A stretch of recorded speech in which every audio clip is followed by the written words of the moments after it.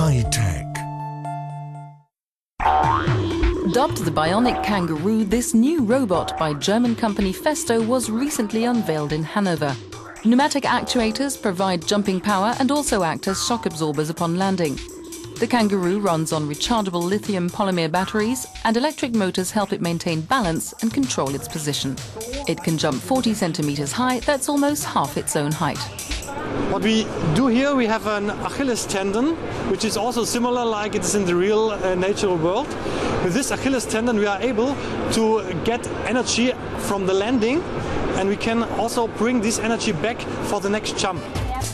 Its developers say they're not aiming their product at the market, but made it as a tool to show the power of biomimetics, the human made process that imitates nature and its potential for industrial automation.